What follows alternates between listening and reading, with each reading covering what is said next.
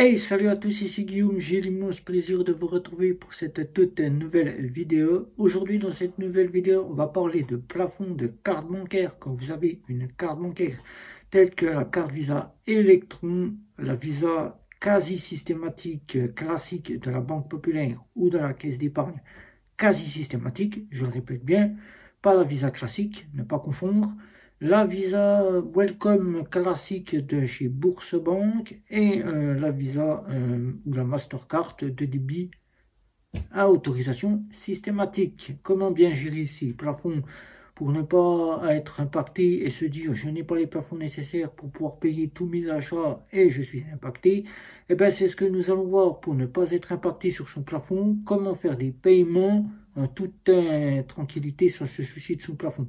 Eh bien, je vais tout vous expliquer dans cette vidéo puisque moi-même j'ai une carte euh, autorisation systématique, quasi systématique, qui n'a pas les plafonds nécessaires pour pouvoir vivre décemment. Donc, euh, comment bien gérer cela? On va voir ça ensemble, juste après le générique. C'est parti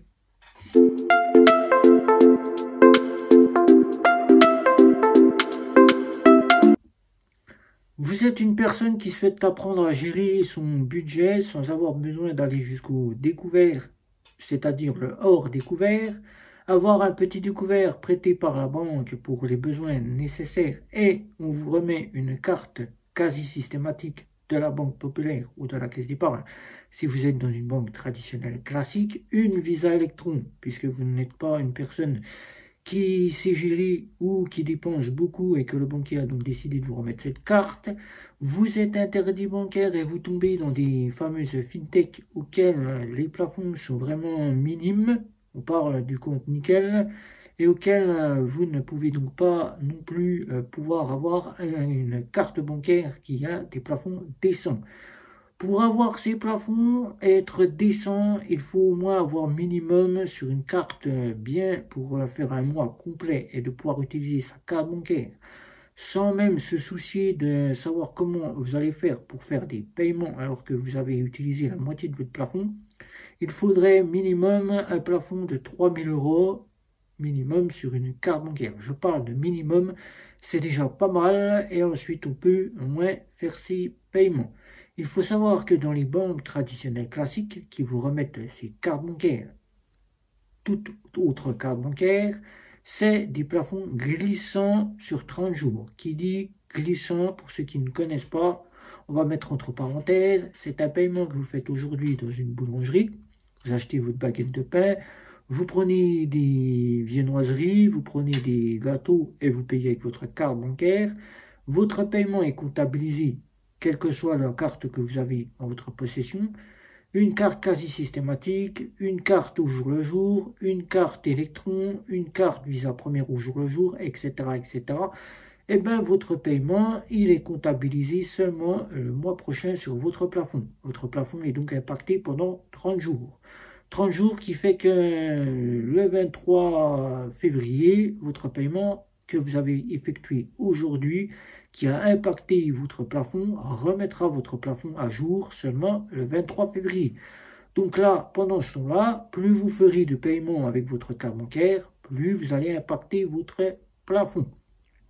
Et là, comment faire si vous n'avez pas un plafond décent environ de 3000 euros pour faire un plafond quand même bien pour pouvoir faire un mois complet, eh bien, si vous êtes une personne qui dispose d'une carte à autorisation systématique, une carte électron, parlons cela, une visa classique quasi systématique de la Banque populaire, de la Caisse d'épargne, la visa Realis de chez Banque Postale, la visa Welcome classique de chez Bourse Banque, les Mastercard et les visas systématiques de nos fameuses fintech ou de certaines banques qui proposent des Mastercard débit autorisation systématique, que vous n'avez qu'un plafond de 1000 à 1200 euros, voire 1500 euros, et que vous ne pouvez pas faire totalement le mois, comment faire pour éviter d'impacter votre plafond?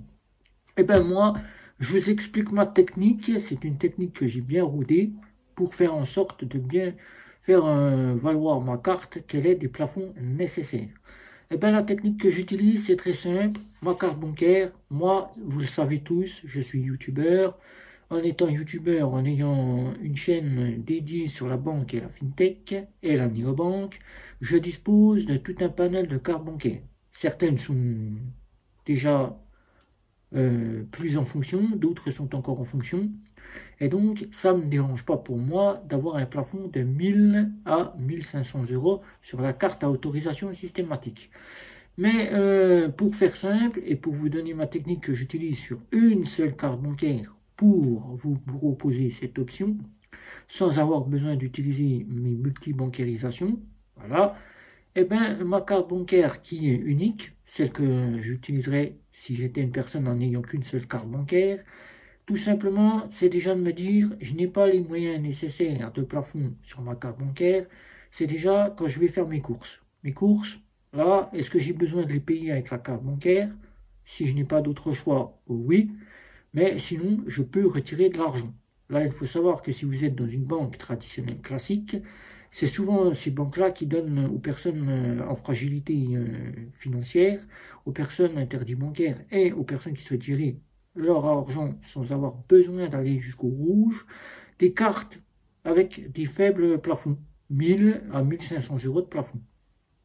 Visa classique, visa électron, visa classique quasi systématique, parce qu'il existe encore la visa classique, visa classique quasi systématique, visa électron, visa réalise, visa welcome classique dans les banques en ligne. Et bien là, tout simplement, ma technique à moi, c'est que je paye mes courses euh, quand je ne peux pas faire autrement par carte bancaire. Mais quand je peux le faire, je retire uniquement de l'argent liquide. Et ça, il faut penser que l'argent liquide, même si on vous dit que certains DAB disparaissent et que beaucoup de gens ne retirent plus d'argent puisqu'ils ont un profil d'utilisateur de carte bancaire, il faut penser qu'il existe toujours ces fameux DAB et que l'argent n'est pas en voie de disparition totale. Elle existe encore bien, elle est bien présente parmi nous. Il faut encore bien faire fonctionner ces DAB tant qu'ils sont encore parmi nous, car il existe des endroits où des petites communes où les DAB disparaissent et où euh, certaines personnes, je parle des anciens, nos grands-parents, nos nos, grands-mères, nos grands-pères, nos aïeuls, qui, euh, eux, n'ont pas l'habitude d'utiliser leur carte bancaire, qui n'ont peut-être jamais utilisé leur carte bancaire, qui découvrent la fonctionnalité de la carte bancaire et qui euh, restent encore avec la monnaie en pièces et en billets.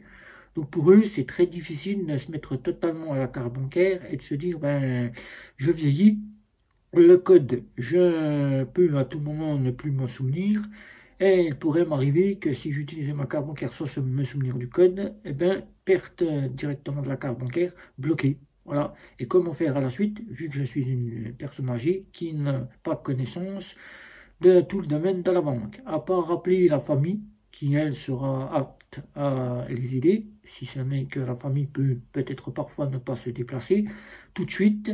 Alors euh, la solution c'est de retirer de l'argent liquide. L'argent liquide, vous prenez la somme qu'il vous faut, ça n'impactera pas votre carte bancaire. Par exemple, prenons le cas de chez Nickel, pour ne faire que celle-ci. Si vous n'augmentez pas le plafond de Nickel, puisque vous pouvez l'augmenter, ben, euh, tout simplement, vous retirez de l'argent liquide. L'argent liquide, il faut savoir que maintenant, toutes les banques traditionnelles classiques, les guichets des banques mères auxquelles vous êtes affilié, par exemple, moi je suis affilié à la caisse d'épargne, qui prochainement, vous verrez la carte bancaire, je vais retirer de l'argent à la caisse d'épargne, c'est totalement gratuit, je retire sans frais, je peux prendre de l'argent. Mais il faut savoir que maintenant, si vous êtes euh, bien réfléchi et que vous savez comment faire, vous pouvez avoir les frais gratuits de vos retraits dans tous les DAB que vous pouvez avoir autour de chez vous. Donc là, allez retirer de l'argent, ça n'impactera pas le plafond de votre carte bancaire et vous pourrez payer vos courses, payer la baguette de pain dimanche sans avoir besoin de sortir la carte bancaire pour 2 euros. Voilà, disons 2 euros, hein, puisque je calcule la baguette à 2 euros, puisque nous allons bientôt l'avoir à 2 euros. Voilà. Vu les prix, comment ça augmente, la baguette, on l'aura à 2 euros. Je vous le dis, ça finira par la payer à 2 euros. C'est 1,10€, 1,20€, on n'en est pas encore là, mais ça arrivera. Payer sa baguette de pain, on la paye en monnaie, on prend sa petite monnaie dans le porte-monnaie, les petites pièces, on paye sa baguette de pain. Comme ça, on est quitte de sortir la carte bancaire, impacté pour 1 ou 2 euros. Ça ne sert à rien. On peut aussi prendre un billet de 50 euros. Et là, avec 50 euros, c'est suffisant pour acheter des petites pâtisseries, des choses qu'on a besoin et de se dire, ben, je prends 50 euros pour faire la semaine si j'ai besoin de 50 euros. Voilà. Comme ça, je suis quitte de sortir la carte bancaire pour ne pas impacter le plafond quand ce sont des faibles plafonds. Prenons le cas de la banque postale ou la fameuse Realis, c'est un plafond de 400 euros par semaine. Alors 400 euros quand on fait ses courses, qu'on en a déjà pour 200 euros qu'on paye avec la carte bancaire, il ne nous reste que 200 euros pour faire la semaine.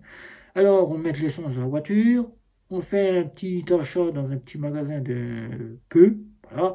On fait deux trois bricoles à côté pour euh, se dire qu'on a acheté deux trois trucs. 100 euros, ça va vite. Surtout quand on achète beaucoup de choses, alors les plafonds en une semaine c'est vite impacté.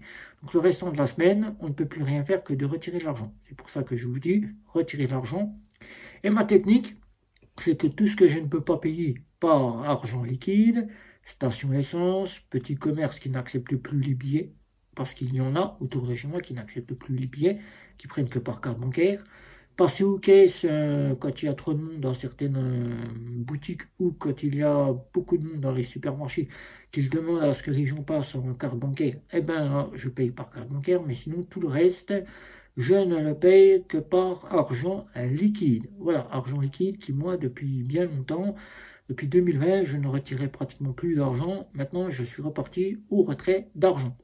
Alors, deuxième méthode. La deuxième méthode, là, c'est quasiment, une fois que vous savez que l'impact de votre plafond peut être résolu grâce au retrait, eh bien, payer tout ce que vous avez besoin de payer que vous ne pouvez pas payer avec la carte bancaire, c'est faisable station essence, euh, parking souterrain, péage, euh, petite bricole auquel il y a trop de monde dans les supermarchés, vous ne voulez pas attendre, ça passe plus rapide. Et le reste, c'est en pièces, en billets. Là, ça passe, on n'impacte que le plafond euh, qui peut être de 500 euros ou 300 euros suivant les banques. Voilà. Comme à la caisse d'épargne, si vous allez à la caisse d'épargne pour les clients de la caisse d'épargne, vous savez qu'au guichet de la caisse d'épargne, c'est 300 euros par jour. Par jour, donc tous les jours, vous pouvez aller retirer l'argent, c'est 300 euros par jour. Voilà.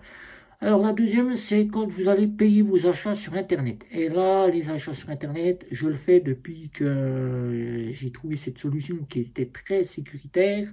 Déjà, d'une part, c'est pour la sécurité que je le fais, mais aussi c'est pour directement ne pas impacter les plafonds de ma carte bancaire.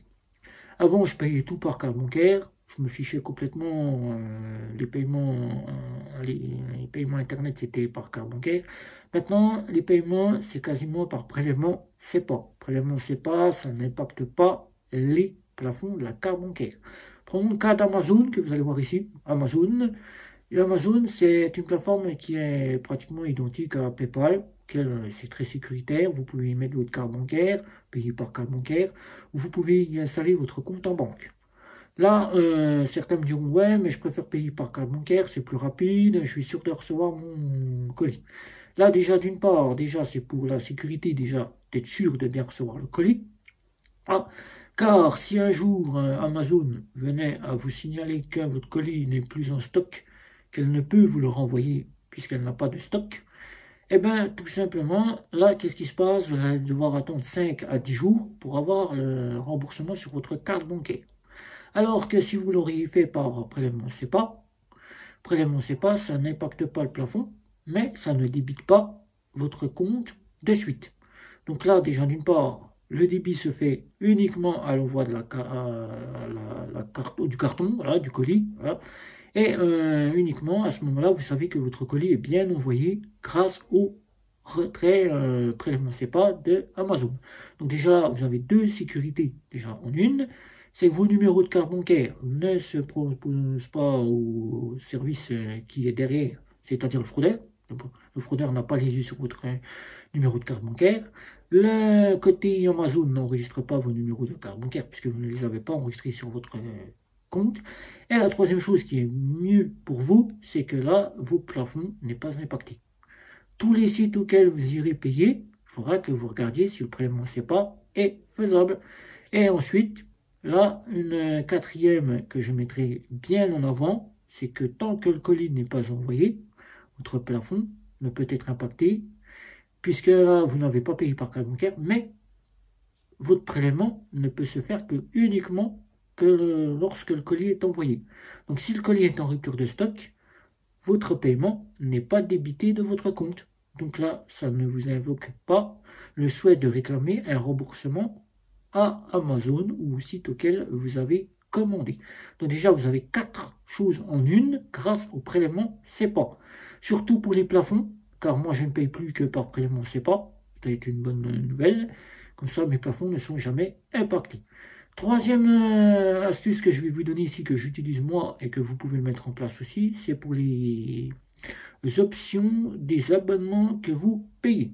Vous payez un abonnement Amazon Prime Video. Là, c'est pareil, le prélèvement Amazon Prime Video.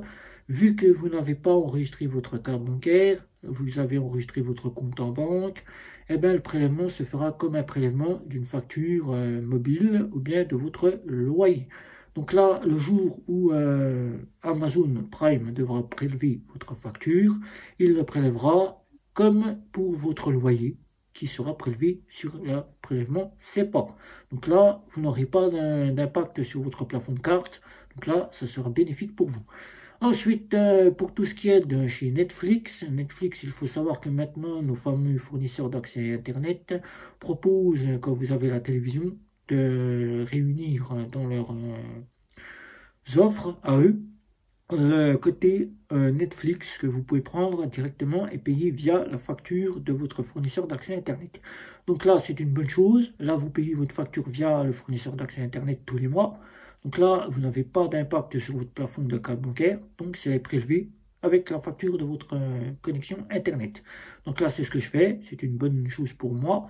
Comme ça, mes plafonds ne sont jamais impactés. Là, si vous devez faire du service euh, tel que euh, votre iPhone, par exemple, euh, mettre iCloud, par exemple, vous devez avoir des abonnements tels que Spotify, etc., etc., où vous devez faire des achats qui nécessitent une carte bancaire, là, la solution que je vous donnerai, qui serait plus appropriée pour vous, c'est soit de vous multi-bancariser avec une, carte bancaire qui soit avec des plafonds bien plus élevé ou qui soit équivalente à ce que vous avez sur votre compte en banque. Vous achetez euh, une carte bancaire soit au bureau de tabac euh, via euh, PCS Mastercard, Transcash, vous avez toute une sorte de carte bancaire que vous pouvez acheter au bureau de tabac. Les plafonds seront plus conséquents. Vous faites un petit virement. Ne faites pas de rechargement surtout, parce que si vous faites un rechargement, ça impacte le plafond.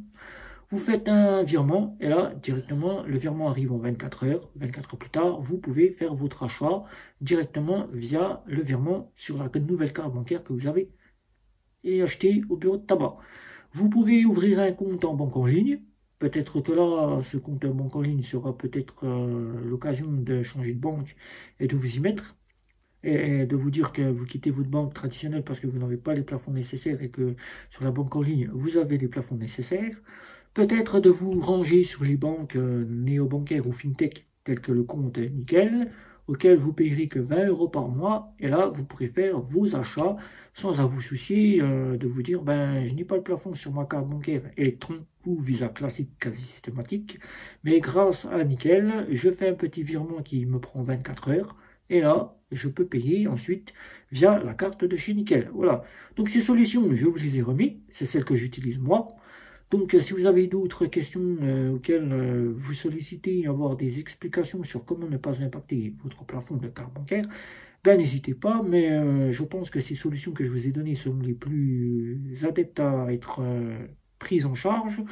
Et surtout, n'oubliez pas, quand vous faites vos achats sur Internet, le prélèvement, c'est pas sur tous les sites auxquels vous irez. C'est la meilleure des solutions pour ne pas impacter votre plafond de carte bancaire.